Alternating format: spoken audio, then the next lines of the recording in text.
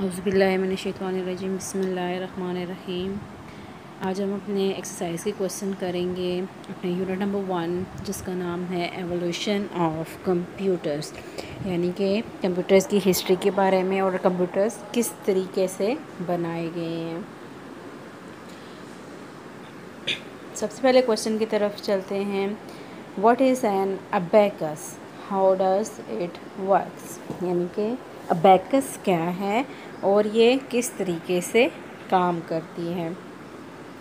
Abacus is the first calculating device developed in China about three thousand years ago abacus हमारे पास एक ऐसी device है जिसमें हम प्लस माइनस मल्टीप्लाई डिवाइड कर सकते हैं, ठीक यानी कि हम अपनी कैलकुलेशंस को आसान बना सकते हैं, उसे अबैकस कहा जाता है।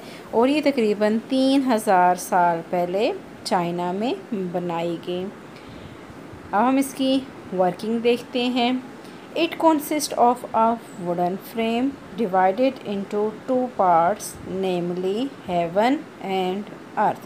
यानी कि ये एक लकड़ी के फ्रेम की बनी हुई होती है और इसमें दो पार्ट्स होते हैं। इसको दो पार्ट्स में डिवाइड किया जाता है, जिसे हम हेवन और दूसरे हिस्से को हम अर्थ कहते हैं।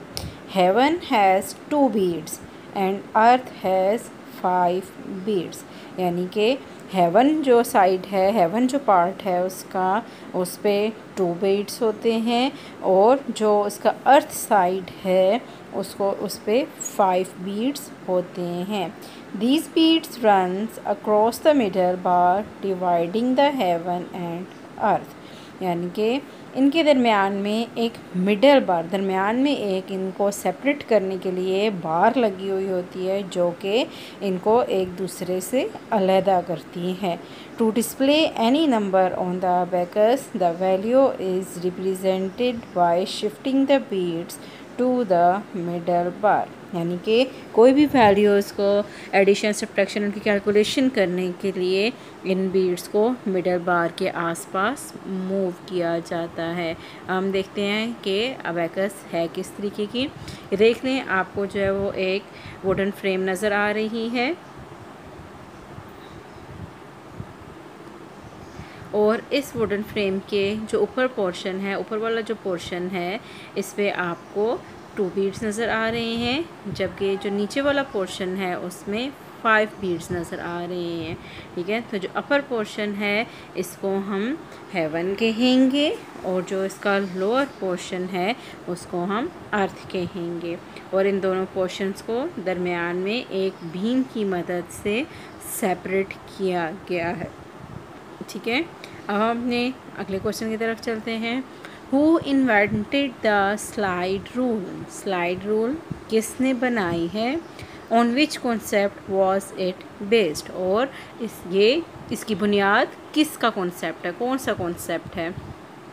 तो इसका आंसर है slide rule was invented by William Oughtred it was based on the concept of logarithms ठीक है, ये लॉगरिथम्स की बेस पर बनाई गई है। थर्ड क्वेश्चन है who is said to be the father of computer के कंप्यूटर का मूजद या फादर किसको कहा जाता है? तो हम एक साइंटिस्ट हैं, जिनका नाम है चार्ल्स बेबेज तो Charles Babbage is said to the father of computer उस, किस लिए उनको फादर ऑफ़ कंप्यूटर कहा जाता है? क्योंकि उन्होंने कुछ कॉन्सेप्ट उन्होंने एक अपनी मशीन बनाई थी, जिसका नाम है एनालिटिकल इंजन तो वो जो मशीन थी, वो जिन कॉन्सेप्ट्स पे काम करती थी, वो ही सारे के सारे कॉन्सेप्ट्स कंप्यूटर में भी बनाए उन, उन्हीं कॉन्सेप्ट्स को लेकर कंप्यूटर के अंदर प्रोग्रामिंग की गई और उन्हीं कॉन्सेप्ट्स पर ही कंप्यूटर्स को बनाया गया। Question number four list the different units of analytical engine analytical engine के यूनिट्स के नाम बताइए। Analytical engine has four units के, उसके एनालिटिकल इंजन के फोर यूनिट्स हैं, जिनमें फ़र्स्ट है मिल सेकंड है स्टोर थर्ड है a system of gear and lever and fourth है इनपुट एंड आउटपुट यूनिट्स ये तमाम अलग अलग यूनिट्स हैं और इन तमाम का एक स्पेसिफिक फ़ंक्शन है जो कि किसी भी मशीन को चलाने के लिए काम आता है। Question number five what do you understand about computer generation के कंप्यूटर जनरेशन क्या होती है? ठीक है? जिस तरीके से इंसानों के अंदर डिफरेंट जनरेशन्स आई हैं तो मतलब पहले ज़माने के लोग बहुत बड़े होते थे, उनकी एजेस भी ज़्यादा होती थी, जैसे जैसे टाइम पास हो रहा है तो उनकी हाइट भी और एजेस भी कम होती जा रही है। तो इसी तरीके से कंप्यूटर के अंदर भी वक्त गुज़रने के साथ साथ बहुत सारी इन्वेंशंस हुई हैं, क्योंकि पहले ज़माने के जो कंप्यूटर थे, वो आजकल के ज़माने के कंप्यूटर से बहुत ही मुख्तलिफ़ हैं। इसका आंसर देखते हैं। The term computer generation is use in relation to the advances in the hardware technology of computer के जनरेशन का क्या कंप्यूटर जनरेशन का क्या मतलब है कि ये बताती है कि कंप्यूटर टेक्नोलॉजी में जो नए नए हार्डवेयर सिर्फ़ हार्डवेयर नहीं सॉफ्टवेयर भी इंक्लूड होते हैं। तो जो जितनी जितनी एडवांसमेंट आती गई है और जो नई से नई चीज़ें इन्वेंट होती गई हैं, उसे हम कंप्यूटर जनरेशन का नाम देंगे। Each phase of development in computer technology known as a separate generation यानी कि जो जो तरक्की होती गई जो जो एडवांसमेंट आती गई उनके साथ साथ यानी एक, उनकी जनरेशन्स में डिफरेंस आता गया। जिस तरीके से हम आगे पढ़ेंगे कि जो फ़र्स्ट जनरेशन थी हमारे पास, उसके अंदर उन कंप्यूटर्स जो थे, उनके अंदर वैक्यूम ट्यूब्स इस्तेमाल की जाती थी। उनकी कुछ ड्रॉबैक्स थे, उनको रिप्लेस करके ट्रांजिस्टर्स बना दिए गए, जो कंप्यूटर के अंदर यूज़ होते थे। फिर ट्रांजिस्टर्स के भी कुछ ड्रॉबैक्स थे, उसके बाद इंटीग्रेटेड सर्किट बना दिए गए तो ये इनकी इस तरह वन बाय वन इनकी जनरेशन जो है वो आगे बढ़ती गई हैं। इसलिए जो एक एरा था, यानी कि जिन जिन कंप्यूटर्स के अंदर वैक्यूम ट्यूब इस्तेमाल की गई थी, उन सारे फ़र्स्ट जनरेशन में आते हैं। उसके बाद जब वैक्यूम ट्यूब्स को चेंज करके ट्रांजिस्टर लाए गए तो जितने अरसे तक जितनी भी डिवाइसेस बनाती रही, बनाई गई हैं, उसके अंदर जित, जो जो भी डिवाइसेस थी, उनके अंदर ट्रांजिस्टर्स यूज़ किए जाते थे।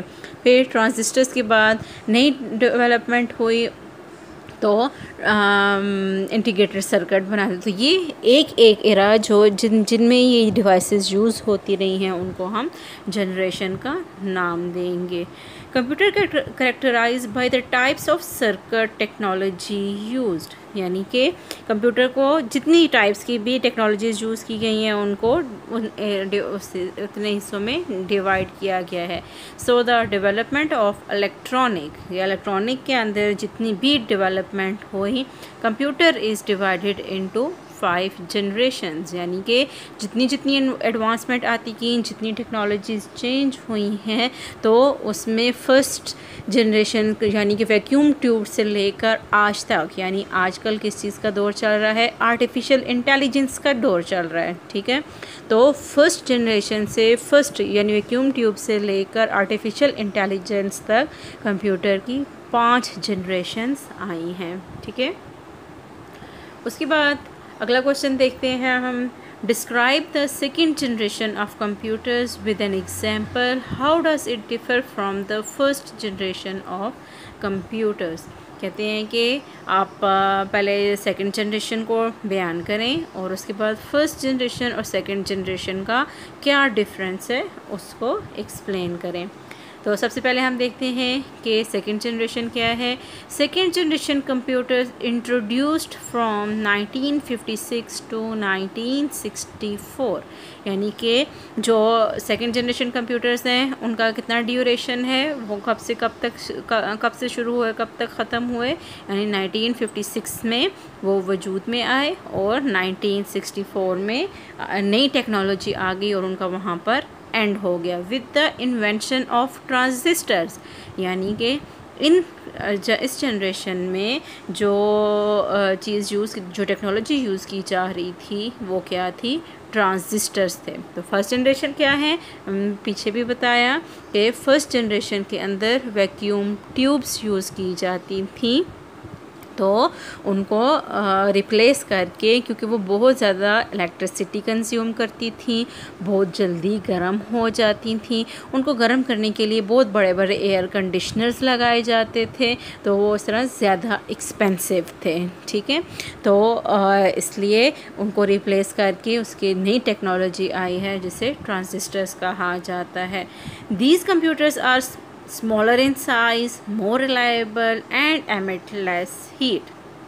यानी कि वो जो सेकेंड जनरेशन कंप्यूटर्स थे वो फ़र्स्ट जनरेशन कंप्यूटर के मुकाबले में साइज़ में भी छोटे थे ज़्यादा रिलायबल थे और उनकी वो आ, कम हीट भी एमिट करते थे।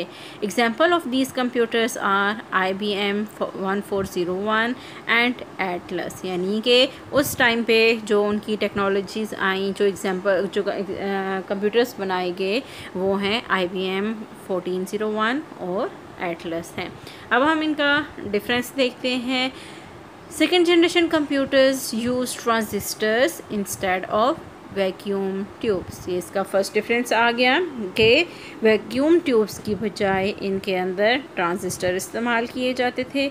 Second generation computers were fast was faster than first generation computer second जो है उनका डिफरेंस यानी कि वो उनके उनसे फ़र्स्ट जनरेशन के मुकाबले में स्पीड में भी फास्टर थे।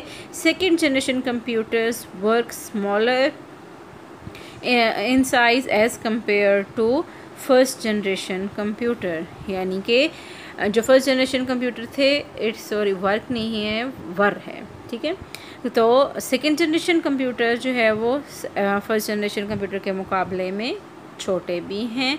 Second generation computers emit less as compare less heat as compare to first generation computer के ये हीट भी कम एमिट करते हैं। Second generation computer provide better portability than first generation computer यानी कि ये पोर्टेबिलिटी भी ज़्यादा अच्छी प्रोवाइड करते हैं। Question number seven write a short note on the first fifth generation computer fifth generation यानी कि हम इसको प्रेजेंट एज जनरेशन भी कहते हैं, ठीक है? तो देखते हैं कि आजकल जो कंप्यूटर चल रहे हैं, उनके अंदर वो किस किस्म के हैं? The fifth generation computers are yet to arrive and continuous effort are being made to develop fifth generation computers having artificial intelligence यानी कि ये जो टेक्नोलॉजी यूज़ कर रहे हैं वो क्या है artificial आर्टिफिशियल इंटेलिजेंस कहलाती है these computers are suppose to have thinking power कि ये ऐसे कंप्यूटर हैं कि इनके अंदर थिंकिंग पावर भी है। पहले जो कंप्यूटर थे उनको एक किस्म के आइडल मशीन कहा जाता है। आइडल मीन बेकार यानी कि हम उसको कोई ऑर्डर करते हैं तो वो तब हमें कोई काम करके देती है। लेकिन अब जो आ, इस वक्त में और आगे आने वाले टाइम पे जो कंप्यूटर बनाए जा रहे हैं वो आर्टिफिशियल इंटेलिजेंस की टेक्नोलॉजी यूज़ करते हैं, यानी उनके अंदर थिंकिंग पावर भी मौजूद है। They came to bring machines to reason logical and with knowledge of the world and make decision like human beings यानी कि ये जो टेक्नोलॉजी ये जो कंप्यूटर्स लाए जा रहे हैं, जिनको हम रोबोट भी कह सकते हैं, ठीक है? कहते हैं कि इनके अंदर थिंकिंग पावर भी है, इनके पास पूरी दुनिया के के बारे में, पूरी दुनिया के मतलब इनके अंदर नॉलेज मौजूद है और ये अपने डिसीजंस खुद ले सकते हैं, जिस तरीके से इंसान अपना डिसीज़न ले सकते हैं। थैंक यू उम्मीद है आपको ये क्वेश्चन समझ आए होंगे। हम इसको आगे फिर और कंटिन्यू करेंगे। Thank you